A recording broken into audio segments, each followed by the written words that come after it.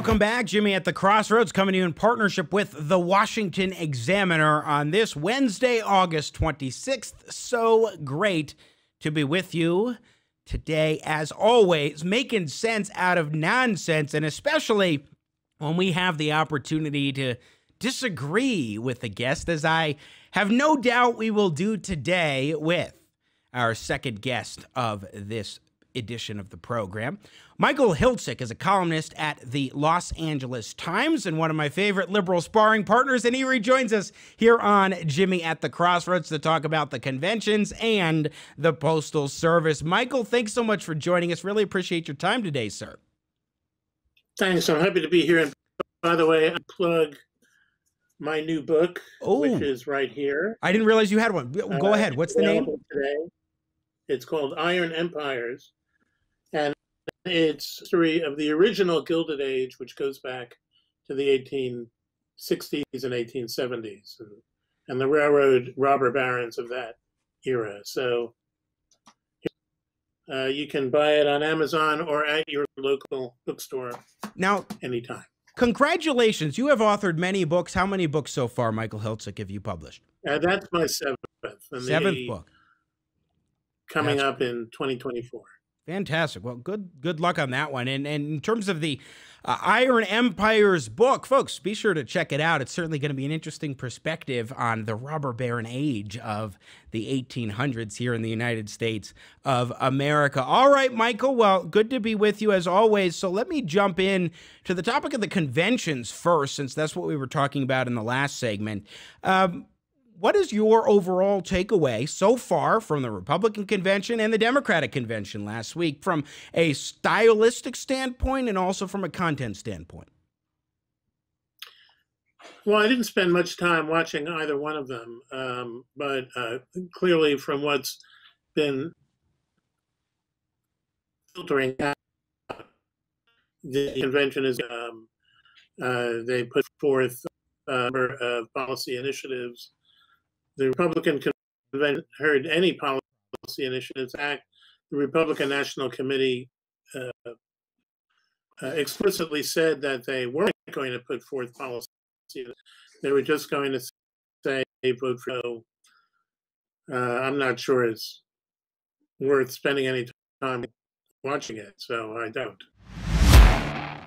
once again. Gremlins in the system today, it seems, here on Jimmy at the Crossroads. Hoping all will work out well now as we continue with Michael Hiltzik, business columnist at the LA Times and author of the brand new book, Iron Empires. Michael, throw it back up on the screen for us, please, if you want to show your book so folks can know exactly what they're looking for. Iron Empires, modeled by the author himself, right there. Here as we continue on Jimmy at the Crossroads. Good luck with the book, sir. So let me let me get back to Thank the you. Republican National Convention topic, and I, I, appreciate you switching the medium of conversation here on the fly. Um, in terms of the RNC, just kind of restate what you were saying before, please. Well, I what I said was uh, uh, I didn't hear uh, much indication of policy statements or prescriptions from the RNC, and in fact, they explicitly said that they weren't going to have a platform this time around uh, beyond uh, reelecting President Trump. And I think uh, I and many other voters uh, would like to hear more than that. So, um, you know, it doesn't seem worth uh, many people's time to tune into it. So I would disagree in that I especially heard highlighting of things that had been done in terms of accomplishments that I hadn't heard from the Democratic Party in terms of what they had achieved, what they would like to achieve. I saw some of that in the I was I watched every well not every minute, but most minutes of the last couple of nights of the Republican National Convention, and I was very struck by how much more policy I felt that there was compared to the Democrats, particularly when they were discussing things like the First Step Act and the economy and the uh, paycheck protection protection program and other things. Now, they weren't getting into depth. Of course, the convention isn't where you're going to get into the weeds on how a policy works, but I felt that there was noticeable discussion about not only some policy things, especially things that had been done over the course of the last three to four years to paint a picture of progress and success under Republican leadership. But I also felt that what they were emphasizing was that Republicans really are talking about those sorts of issues because I heard a good amount, not in every speech and not from every person, but a, a lot more discussion about policy than I was even expecting. Well, okay. I don't know what to say to that except that um, you heard something I didn't hear. So, well, you didn't watch as much as the of the RNC as I as I did, though. So, but, but then again, I think you probably would have come away from a with a similar perspective. Uh, uh, that's for sure. In terms of the Democratic convention, though, and the Republican convention, and what message it sends in terms of this political climate right now, in terms of how they're going about it, their messaging, their approach, their uh, what what their speakers are talking about, the way that they're presenting themselves. I mean, last week, just as one example, we talked about this with Washington Examiner reporter Mike Brest in the last segment. Last week, the Democrats, it seemed like it was more disjointed. They had people all across the country phoning it in with their videos and so forth, versus the Republican convention, where you have had um, speakers that have alternated at one location, giving some sort of a coherent and cohesive idea. You had some speakers that were sending in video messages, and you had other videos that were interspersed. Um, and then you had the big difference too is that you had live audience for Melania Trump last night, the first lady. I would expect the same thing for Vice President Pence tonight and President Trump tomorrow night. And so I think that there were some noticeable differences there in terms of just the way in which they went about the production, which I found interesting. Well, all I can say about that is so what? I mean, so, you know, I mean, we have videos from 50 states in the Democratic convention we have, uh, you know, a couple of dozen people sitting around in the Rose Garden to listen to Melania Trump. Who cares, really? I mean, uh, uh, uh, none of that really matters. None of that matters to voters. None of that matters to me. I, I can't imagine why it would matter to you. Well, I think I think it would matter to me for two reasons. Number one, when you have a live audience that's able to applause, um, provide applause for a speaker. That adds a different dynamic than somebody who's just in a, in a room speaking yeah, to the audience without without a, without a crowd there. This is one of the reasons why I think that you you notice big difference just in terms of tone in general when people are not speaking at the massive convention hall. And I was at the RNC in 2016 as an alternate delegate uh, from Colorado, and I think that there is a, an energy that can come from when you have speaker uh, speaker addressing a live audience, but then also in terms of the production value, I think it actually is very important in this modern day and age when people are watching things on television and expecting sort of a, a show and a narrative to be presented that's, that's cohesive in programs that they watch on TV. I think if you can capture that for a convention, and I think the RNC has done an effective job at that, I do think that helps in terms of the appeal, in terms of what kind of a message and impression that it sends, especially to voters who are trying to figure out, uh, you know, how still they're going to vote come November or in the next few weeks as ballots start dropping. Mm-hmm. Okay. So okay, uh, all right, fair enough, fair enough. So just one one final question, just from a historical perspective, because I know you you study a lot about American history in terms of these conventions, setting aside the politics and and some of the pageantry and so forth of of this current occasion, the differences between the DNC and the RNC. What do you make of this moment where we have conventions that are now, from a historical perspective, this year are remote, that are that are largely not in front of live audiences, that are not like they have been for many decades here in the United States. I think clearly this is a response to necessity. Um, uh, you can't bring together, uh, you know, several thousand people in a uh, inside room uh, where everybody is is basically breathing in each other's faces right now. I think what it tells you is that a lot of the pageantry, as you put it, uh, in the past was sort of a veneer over necessity. I mean, there wasn't any other way to achieve uh, the nomination process than to to have it all happen at once and in one place. So we sort of papered that over or dress that with with balloons and ballyhoo and and what have you. We don't need to do that anymore. And I think what certainly what the Democratic Convention has shown, and to a much lesser extent the the RNC, is that uh, all of that stuff can be dispensed with and replaced by something that's much more meaningful.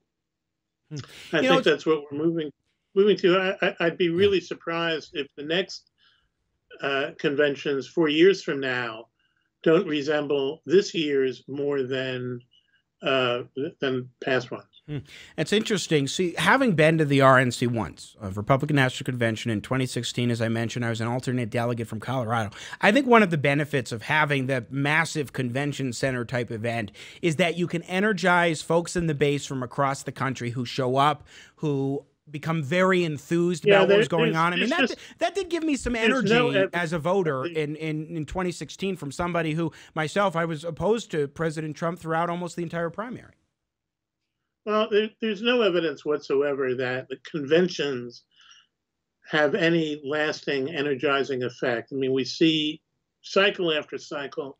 Maybe there's a bump, maybe it's hmm. a sizable bump, maybe it's a little bump, but within a week or two, it's gone. So no, let me clarify what well, I mean. I don't mean the broader public or even the base watching on TV. Well, I mean the people who show up at the convention hall and are are there with the energy and the engage. I really think that that fires people up in a way that can be lasting. Certainly was for me, 2016. Well, uh, people who go to conventions or who are delegates or just bystanders are already fired up, or they wouldn't make the effort to go to fair enough wherever it is. I mean, East, you know, Rabbit Hash, mm. Wisconsin, to go to one of these things. So, so that, it's not making a difference. If it doesn't make a difference in the broader voter population, then it doesn't make a difference. Michael Hiltzik, our guest, business columnist at the Los Angeles Times. Let's shift gears here to a topic that has garnered a great deal of attention, and that would be the United States Postal Service. This is an organization in the federal government that is extraordinarily popular, according to polling among Americans. We have seen controversies of late um, because of different reportings about um, mail sorting machines that have been shut down, that we have seen uh, postal collection boxes removed, uh, things that, by the way, have been going on uh, for years. But one thing that we have seen now that is even more amplified is with mail in voting where now you have a situation where states across the country are trying to implement statewide vote by mail systems. I'm in Colorado. We're the third state to jump forward with a statewide vote by mail beginning in 2014. On the whole, I will say it has worked well in Colorado. We have taken good precautions. We have built up a system that really does work, that has different safeguards that are in place.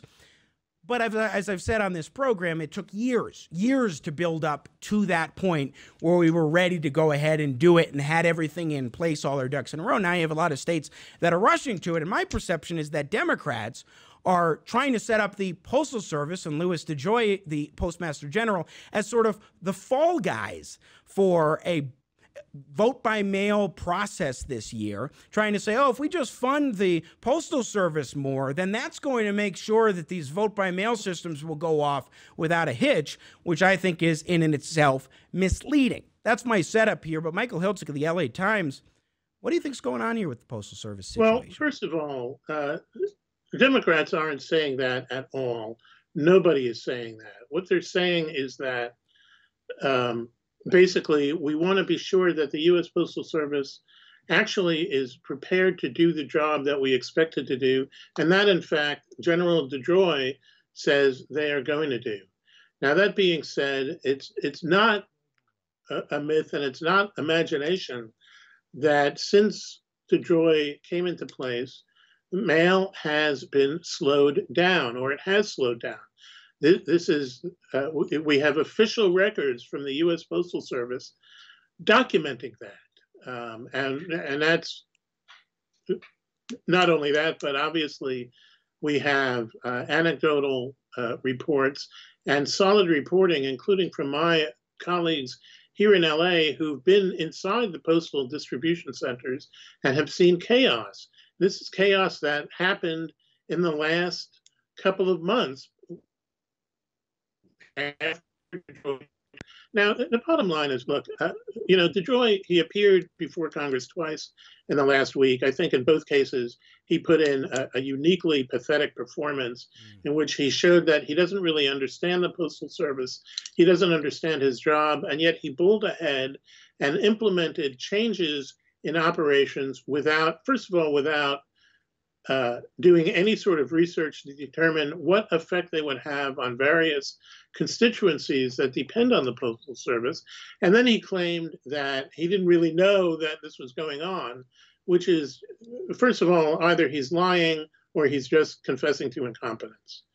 Uh, okay. Now, you know, we have testimony from from a former vice chairman of the Postal Board of uh, uh, of Governors that said they had considered and uh, you know quite properly a lot of the initiatives that have been taken in the last couple of months uh, to try to make the postal service more efficient and they decided affirmatively to put them on hold until the pandemic was was over and until after the election when there's going to be a unique strain on postal operations. We have a unique strain on postal operations from the pandemic. It's only going to get get more burdensome in the next few months. And the Postal Board of Governors said, let's hold off on that until the smoke clears.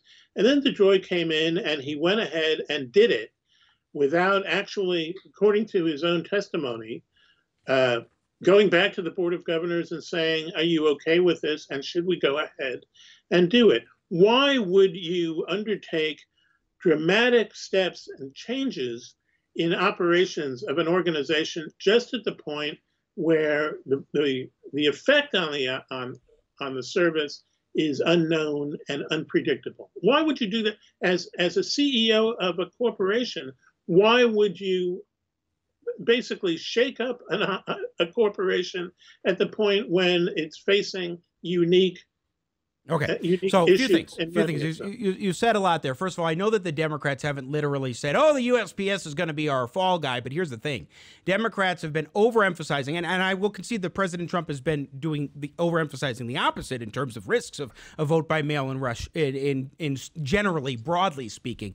But in terms of the Democrats, they have been setting up this idea that vote by mail is resoundingly effective. It's going to be resoundingly effective in any state that tries it statewide. And I just, based on Colorado's experience, which has been very successful, but built on years of getting there, I think that that is a, a woefully uh, overestimate of what well, is again, actually that, the case with vote by mail. But let me finish my let me finish my point here because what I'm looking at here is the Democrats overemphasizing this idea of vote by mail working no matter what and trying to say that oh my gosh it is simply the it is the postal service. We need 25 billion dollars to go to the postal service and then they'll be able to do their job when postmaster DeJoy says we have enough cash on hand to get us through this election cycle and to handle the mail-in ballots as we've got it. And I believe that they do especially based on Colorado's own experiences. But also in terms of the vote by mail system there are a lot of problems when you're rushing it into place. And as the Democrats want you do not include uh, signature verification which is absolutely absolutely critical and has been a, a boon for Colorado's uh, Colorado voters to feel trust and confidence in the electoral process here in this state when it comes to vote by mail. They don't want that in the Democrat House bill uh, in terms of what uh, they would actually strip away any of these sorts of requirements for signature verification that states may want to or rightly have in place already. But what they're doing is basically saying, oh, vote by mail is great. If we just fund the post office, then things will be hunky dory and 100%. That is false. It is up to the state, local right, election good. officials to manage their elections predominantly here. It is not the postal right. service that is the driver. Even in the in terms of vote by mail, you need to have the systems and and processes and safeguards in place. All right. Look, first of all, it, it's simply incorrect that Democrats have said vote by mail is a slam dunk or that it's going to be. That is absolutely the perception that's been given. No doubt. Well, uh, I don't care what the perception is. The fact is that Democrats haven't said that. What they have said they have implied is it. that it's it's important to do and that it is going to be a challenge. And to help help deal with that challenge, we need to have the Postal Service on board. We, uh, they haven't said, uh, you know, the, post, the Postal Service is interfering. They haven't said that the Postal Service is going to screw it up. What they've said is that it's going to be a complicated process in many states, mm. and we need everybody to pull together. No, we certainly they've been understating the that. Postal Service certainly don't need the Postal Service to be remaking itself on the bump when it needs to be helping.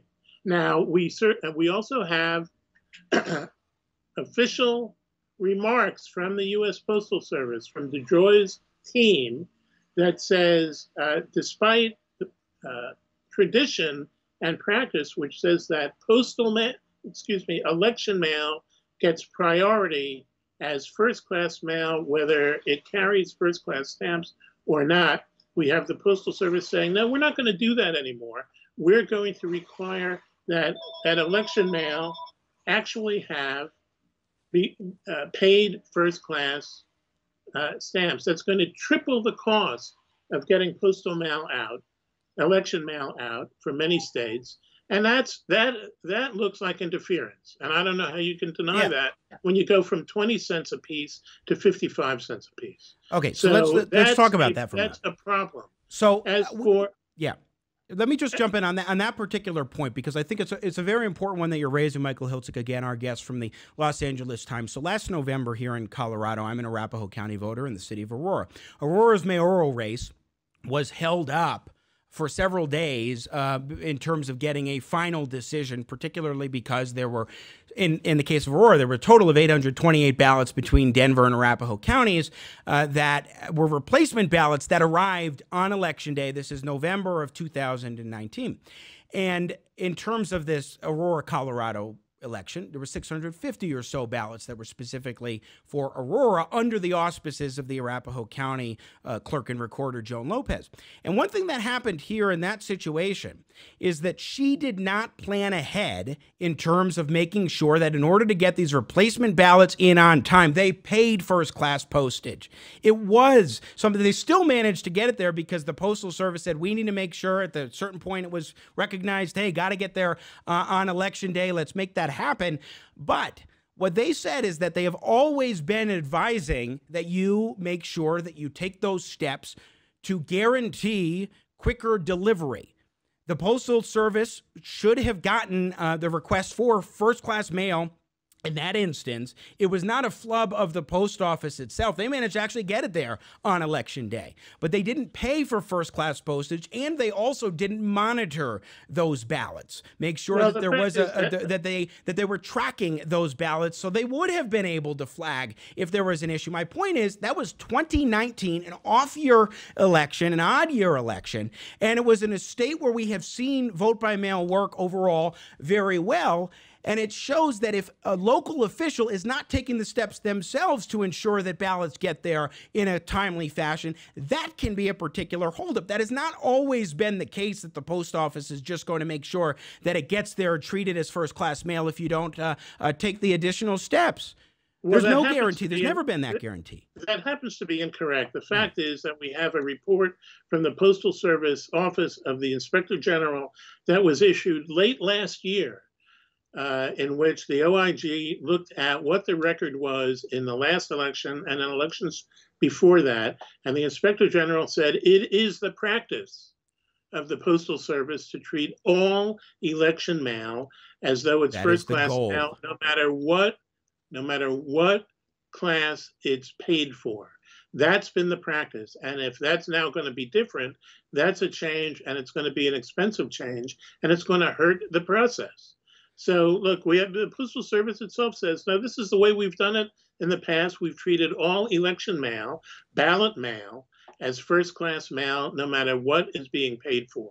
So, you know, and, and in any case, the, you know, this this episode that you're referring to underscores that yes, it's going to be challenging and it's complex, even as you said, in a state that's been doing vote by mail for many years. Mm-hmm. So, uh, so we need everybody to pull together, and we we don't need a postal service that's in in operational and yeah. managerial chaos. So to be part of yeah. this, this process. Well, one thing that's important though is that yes, it is a general practice, but that is not always guaranteed, and that's why it is up to election officials well, locally to make sure that they are taking the appropriate steps. It has never been absolutely uh, a guarantee, which is why we have had these sorts of delays on occasion. Sure, fair enough, but at the same time, what it shows is that there are a lot of different components to a vote by mail system, and why are the, the, you know the the Democrats have been emphasizing consistently let's give 25 billion dollars to postal service which they do not need at this moment in terms of cash on hand. They have it. One thing that postmaster DeJoy made a point of saying is that we do have enough cash on hand to make sure that things happen the way they need to in terms of the election day. But when you're oh, when you're emphasizing the the uh, postal service funding as the issue they have presented it clearly been presenting we've talked about and documented in this program as a sort of panacea. They may not say that phrase or use that type of language, but that is clearly what they're implying. But I do want to go back to uh, the the trends in history in terms of the postal service uh, time timeliness and so forth. Let's put up pick one here. This is the Washington Post last week on um, the the 19th. And they said that this summer's mail woes appear to be only slightly worse than they were last year, and the delivery may be more related to the coronavirus pandemic. And delivery woes were worse in the first part of 2020, just as the pandemic hit than during the summer when compared with the same periods last year, which I think is an important distinction. Then let's also talk about the Postal Service in terms of the uh, box mailboxes that have been removed and also in terms of the mail sorting equipment that's been removed. Let's put up here a pick three. Uh, pick three. This is the Postal Service. Uh, a report on the Postal Service, 2015, August 26. Oh my gosh, five years ago today, Michael Hiltzik. Amid a significant downsizing of the money strapped U.S. Postal Service, the number of letters arriving late has jumped by almost 50% since the start of the year. The delays have become so serious that the Postal Service's watchdog issued an urgent alert earlier this month recommending that postal officials put all further closures of mail sorting plants on hold, sure, until service stabilizes, which, by the way, DeJoy is now doing. You put up pick four. First class mail has gradually been traveling more slowly since the post, post office started closing dozens of mail sorting plants in 2012. These longer delivery times became the new normal. My point in bringing this up is that the mail sorting uh, removal of these mail sorting units these machines is not something new. It happened under Barack Obama. We had repeated delays under Barack Obama. Now, it was not him overseeing it. I'm just saying it was during his presidency. The president isn't the one who appoints the postmaster general. But this kind of thing has been happening under previous presidents, including Barack Obama, and there wasn't a peep. Yeah, let me let me just um, you know, break it to you. Uh, mm-hmm. Uh, the president isn't directly uh, appoint the postmaster general, but the president has appointed every single sitting member of the Postal Service four Dem- Board of four Republicans, two Democrats. Majority yes. of the Postal Oversight Commission, and and as we know, because we've heard it from members of the Board of Governors, Steve Mnuchin the uh, Treasury Secretary has called in Republican members of the Board of Governors for conversations. All right. So let's not pretend that this doesn't have that that DeJoy's appointment doesn't have Trump's fingerprints on it because it does. Now to go back to the points that you raised by putting you can't prove that those, uh, those articles up on the screen. Yes, sure. There have been uh, there have been um, uh, inefficiencies. There have been crises in mail delivery in the past, and every one of those those posts that you put up shows that that the remedy was to halt changes in postal sorting facilities and to restore closures in postal sorting facilities when they were part of the problem. So why hasn't DeJoy learned the lesson from that? And since we we now know from postal service statistics that there was a slowdown in delivery uh, starting when he took over. Uh, you know, why does he sit there before Congress and when he said and when he's asked, are you going to restore the changes that you made? Are you going to put the machines back? Are you going to reopen uh, post office hours? Are you going to reopen postal sorting facilities? He says, no, I don't have to. There's no need. When obviously there is a no. need. And documents it, that you just put up on the screen no. document no, what, what, what, what, they document are two things. Number one, why it was reasonable to, to halt it at this point, to halt the expansion. Doesn't mean that you have to pick them back up. Uh, it also doesn't mean that what, what, in terms of the slowdowns that have happened in the last couple of months, that they are specifically and solely because of that, uh, the mail sorting machine removals, which have been going on for years, including recently. And w- that that's one point. Yeah, number look, number DeJoy- two, point num- point number two, in terms of DeJoy and his appointment and and Steve Mnuchin. Should the Treasury Secretary be getting involved? No, I don't think he should be having conversations along these lines personally. But there's no there's no way there's no demonstration or proof that what Mnuchin said was you have to go ahead and appoint uh, Louis DeJoy specifically as the Postmaster General, and here specifically are the things that are going to happen. What it seems to me that he's doing, based on reading articles that you've written, Michael Hiltzik, is that what, what Steve Mnuchin is looking at is trying to figure out a basis to say stop giving Amazon a break. Stop giving Amazon look, these what sorts of know- benefits, what- which I completely disagree with him on, know, but that's what we- this is about for him. That's nothing know, else. What we know from an internal investigation by the U.S. Postal Service, an internal investigation, Amazon does not get a break. Doesn't get a break that isn't warranted. It gets a break as a bulk shipper, like agree. all other bulk shippers. I agree. As opposed, you know, and and as for Mnuchin's concerns or his involvement, he has no legitimate involvement whatsoever. The USPS is an independent agency of the federal government. It does not report to the Treasury Secretary or the Treasury Department.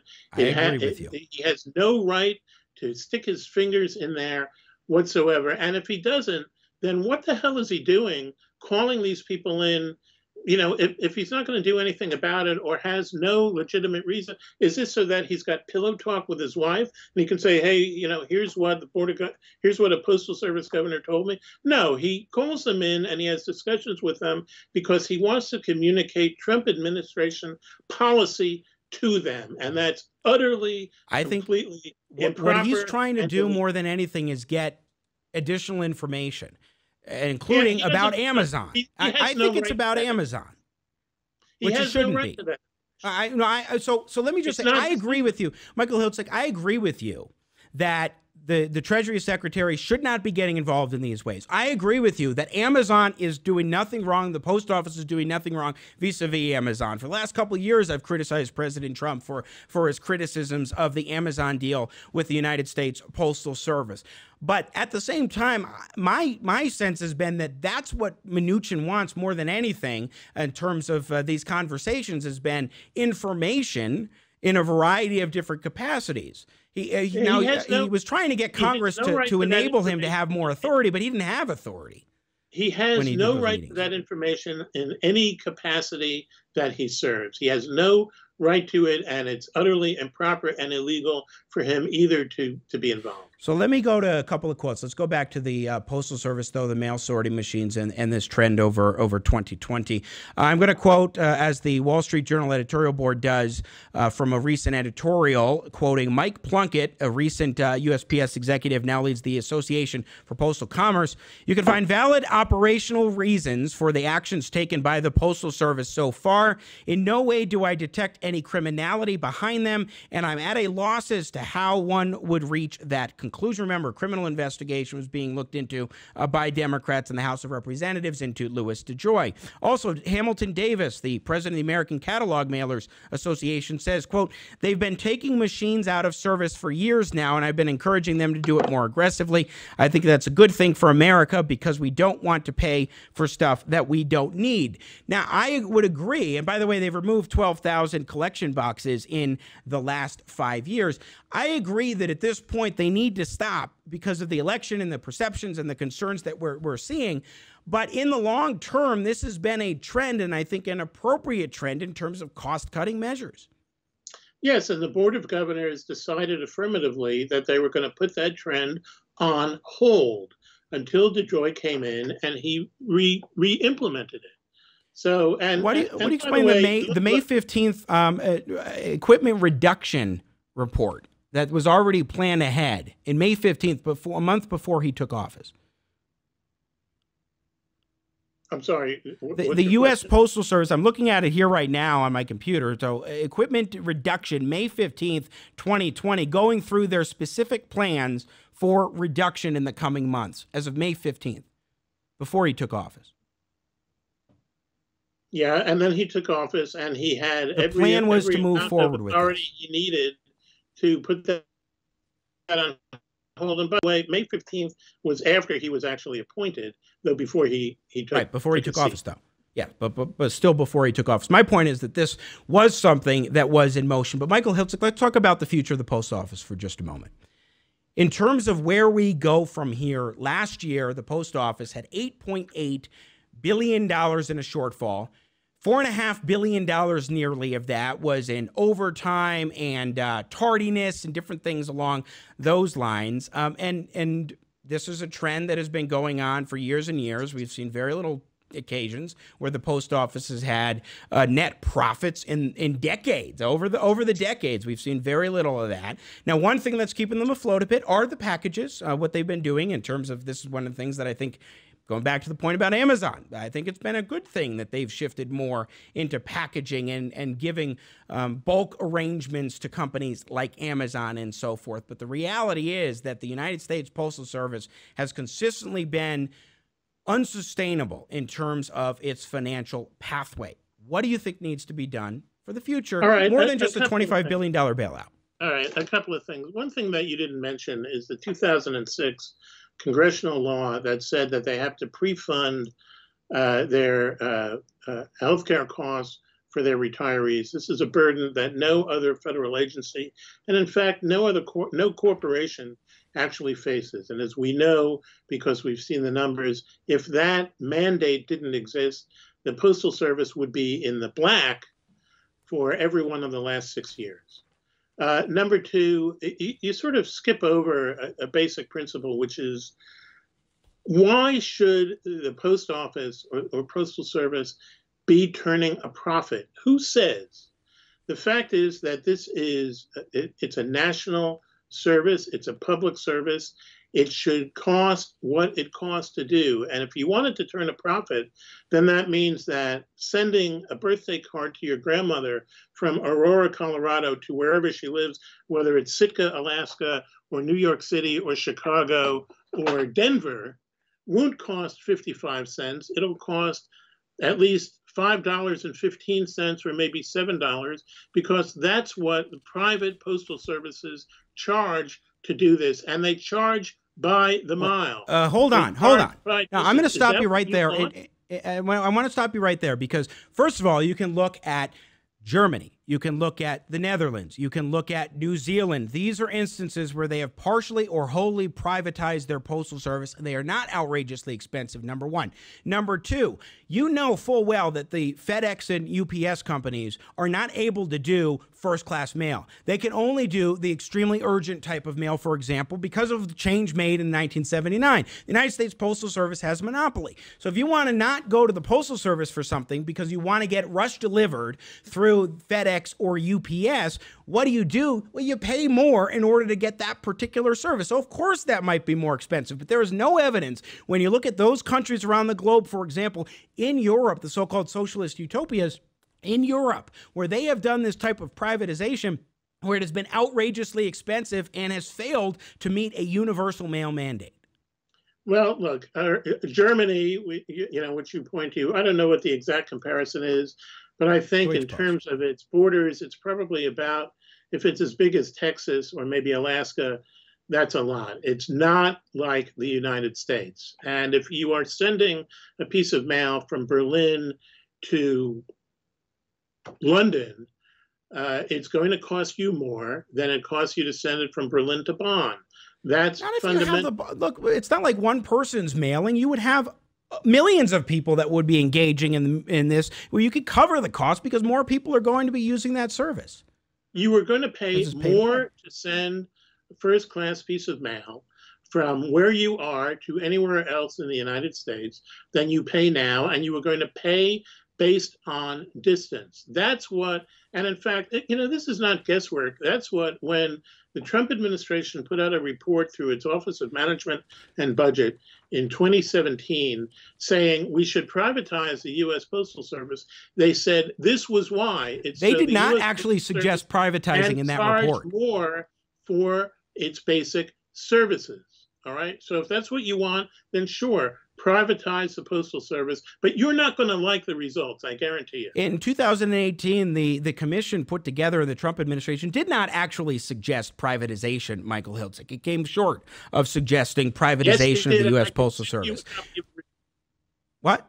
The, the Office of Management and Budget put out a report. They not only the Postal Service, but but dozens of federal agencies that they recommended privatization, and they explicitly said we should privatize the Postal Service so that it can charge flexibly. The, the 2018, right? now, I, I, looked at that. The 2018 report from the Postal Commission did not uh, did not suggest recommend the, the task force put together did not suggest privatization michael. It, it did not suggest privatization. There may be certain elements that have suggested that but not not nearly enough. I think we should go let's put up the pick. I think we should uh, be listening to jared polis governor of colorado in 2001 wrote a, a, paper for the Independence Institute entitled Privatizing and Eliminating the Monopoly of the United States Postal Service. And he's been a, a, a uh, an advocate of this now fairly quietly, but an advocate of this going back uh, 19 years. And he talks a lot about some of these advantages and looks at the in the in his paper, he looks at the dynamics of the postal service and of providing mail services of, of various kinds and looks at the monopolies and the power and authority of the US Postal Service and strongly recommends both demonopolization and privatization to put it on the kind of financial pathway that it needs to be and also to be more effective. And points then in that paper, again, Democratic now governor of Colorado, former congressman of Colorado, uh, Jared Polis, points out that when you do look at those other European countries, citing them as examples, they are instances where privatization has worked well and effectively. And while you can talk about some of the uh, the, the the issues of of uh, being across the country, being a much larger country than the Netherlands or than Germany or New Zealand, absolutely, I will grant that. In terms of scale, you can make this kind of thing work. They do this effectively in terms of FedEx and UPS. Now, yes, those services can be more expensive as they are than what the post office provides because we're excluding first class mail. But when you look at the ability to provide service cost effectively, it absolutely can be done. All right, let me just. Um, uh, I would like to see the Trump administration talk more about privatization, Michael Hiltzik. I think that they are um, woefully um, inadequate in that regard. All right, I've got on my screen the reform plan from the Office of Management and Budget uh, of the Trump administration. This was issued on, um, let's see, in 2017. All right. And I'm uh, going to page 68 here, okay, because I want to make sure I've got it right. And here's what it says about the Postal Service. Pro, uh, the, the, the, this is under the headline The Opportunity. And what it says is a privatized postal service would have a substantially lower cost structure, be able to adapt to changing customer needs, and make business decisions free from political interference, and have access to private capital markets. The private, uh, this, this, this proposal would restructure USPS by aligning revenues and expenses to restore a sustainable business model and prepare for conversion from a government agency into a privately held corporation. So we're, we're talking about two different entities then, because I'm talking about the Treasury Department's uh, report from the task force yeah, on the United States Postal System, that, December 2018. December 2008. Uh, this came from this came directly from the Trump White House after he took over, and it directly says explicitly restructure the postal service and privatize it. Well, I'm encouraged by that personally, but I was looking at the actual task force well, on the know, United it, States Postal System that was created specifically to look at this.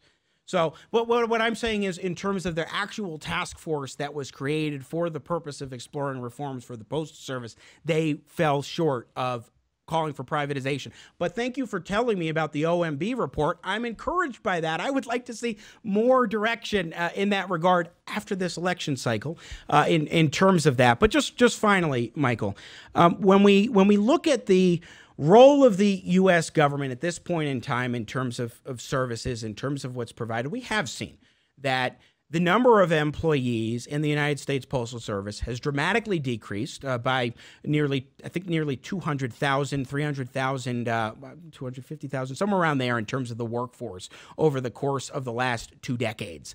Uh, we have seen that um, the number of first class mail pieces that get put in the mail dramatically lower than what we had seen going into the 21st century. You talk about the 2006 healthcare uh, or the provision in terms of pensions where they have to pre-fund their pensions, which, by the way, I think every federal government agency should be looking at something like that. Every state agency, too, because we have all these massively unfunded liabilities. But let's put one thing into perspective. The Postal Service offers something that you don't see, certainly not in the private sector, which is healthcare benefits for retirees. And that is something that we know how healthcare costs are in the United States of America.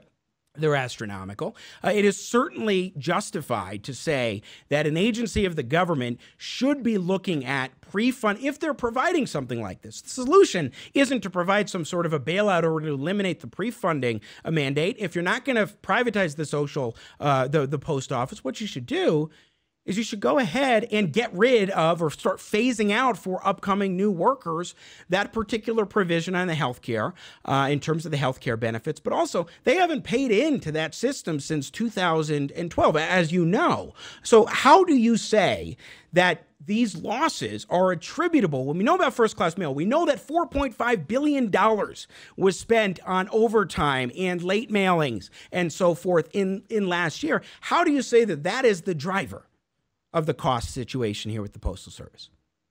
Well, because because it is. It's not that they have to pay these these uh, these costs. It's that they had to accelerate the uh, uh, the payment of those costs into a period of about ten years, rather yes. than amortizing them as and they, they stopped in 2012 the way the way other federal agencies and private corporations do. So this was and in fact, it was probably deliberate, but it certainly put a unique burden on the U.S. Postal Service's uh, budget. And by the way, DeJoy, in his testimony before the Senate, endorsed repealing that provision. So he's he's with me, not with you. Okay, fair enough. I think the provision that should be repealed is providing health benefits for new workers that come into the system. Think that I think you should start. You should so start you there. Now that doesn't help with some that, of the liabilities you have on the books. Postal service workers don't deserve to have health coverage. No, I'm talking about retirees. You don't see what, that in the private sector. You don't see that in the private sector. Yes, it uh, it's very rare. It's very rare nowadays in terms of retirees getting health care benefits in the private sector. So no, What's I don't think future uh, uh, postal employees should get uh, that kind of uh, that kind of benefit. Why not? Because Why? because when you are leaving, especially when it's not happening in the private sector, you shouldn't be given benefits after you retire that are healthcare benefits. A pension, fine, Why? if you can maintain a pension, that's all well and good. Because the because your pre- previous employer should not, especially if it's a government agency, government tied enterprise, um, should not be providing healthcare benefits for you. You should be responsible Why for not? that after you retire or go on to Medicare you ser- you serve an employer for 30 or 40 years and you should be cut loose after you retire? Where, where what is that? In terms of health care you should be encouraging workers to uh, to stay within their own lane in terms of providing themselves if they're going to retire early they should be especially if they were government employees they should be providing they should they should. They should be. It's just for retirees. Well, but if you if you get out you're gonna later, leave them, you're going to leave them uncovered, really? In terms of in terms of providing for your own health care, most people in the private sector nowadays do not have employers who are providing that. The government shouldn't. Why? Because they should. Like Why? literally, it is not the role of government to be providing people all of these sorts of benefits after they leave their jobs, especially that are not provided in the private sector, or rarely are. Why? Why? Why because not? it's not the role of government. I'm telling you. That's it's not the role of government to provide health care benefits to retirees. To take, it's the role of when they're working for you. Yes, retirees. fulfill promises. Existing employees who Well, retire, these were promises. they absolutely existing employees make sure to fulfill those. New employees that are coming in, you need to start phasing out these kinds of programs. Well, we're, we're not talking. the government. You know this this rule on uh, pre-amortizing retiree health care is not about new employees or it- it's about existing existing, retirees yes, and true, existing true, employees. true. This was promise made, and you, and you seem to be saying we should abrogate that promise. No, no, you're making a very important distinction, mm-hmm. Michael, and, and I've tried to I've tried to include that in there. That I'm talking about future retirees. I'm not talking about, and so yes, you do have you do have an existing challenge Well, on the future books, but retirees include future retirees include a lot of people who are working for the postal service today Yes. and have no, well, and have accumulated 20, workers, 30, right. 40 years No. of service yes, and they and they were hired according to uh, I agree. they were offered this promise at Yes. the time Yes. So I agree. I'm looking at new workers that come in. You're right. I need to be very cogent with my Well, language not- there. So absolutely. It's that- important clarification. And then it still leaves us with all of these liabilities that are owed.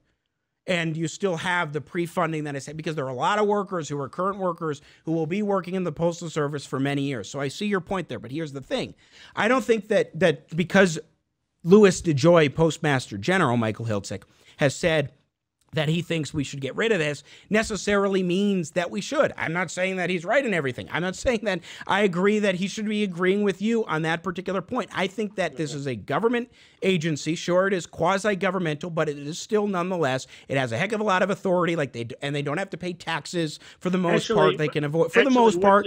For the most part. But but what I think here in regards to the, the, the role of this 2006 statute is that it is being overstated, especially because payments have not been made since 2012 in, un, in accordance with that 2006 statute, that you are overstating its role in the financial state of the Postal Service. it is, it Jimmy, is it- first class mail primarily, and also these excessive costs like the $4.5 billion I was talking about. Jimmy, you, you misunderstand the impact. Whether, they're paying it, you know, as they should or not, the fact is that the uh, uh, that the cost of it accrues as a charge against revenue, so it shows up in the bottom line of the U.S. Postal Mhm. Service. And what DeJoy said was basically he acknowledged that that is a cause of the Postal Service deficit, and that he wants that removed Certainly contributing factor. And, and it's not a mystery. It's in black and white, and it's two plus two equals four. Is that this particular burden and this obligation accounts for why the U.S. Postal Service has run a deficit in in the last six years. It is a contributing factor into It's that, the- as Joy the- pointed out. There are a number of reasons for why the factor, it would Postal Service has had its problems over these years. And we know that especially when you're talking about, you look at the, the significant decline in first class mail postage that has been used. But Michael Hiltzik, we have to run here. We've been at this for an hour. I really appreciate it. You are always uh, fun to, to dive into topics with of course, columnist at the LA Times. Show that book one more time. Iron Empire's new book just came out from Michael Hiltzik of the Los Angeles Times. You're on Jimmy at the Crossroads. Michael, can you hear me? Yes. Can you show your book one more time? Want to Oh, give sure. a chance to, to Happy show to the do. Iron Empire one more time. I appreciate it, my friend. Thank you for joining us today. Okay. Thanks for having me. Check it out. The book Iron Empires and his columns for the Los Angeles Times. Michael Hiltzik joining us here on Jimmy at the Crossroads for one of our longest segments that we have done here on this program. And we are out of time today. So great to be with you. Such a pleasure and a privilege. What a vibrant discussion. Got to enjoy it to be sure.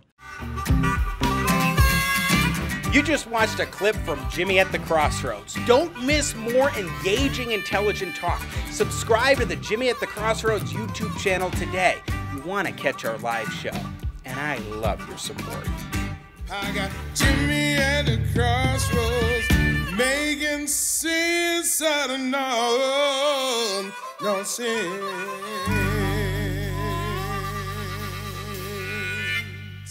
Yeah.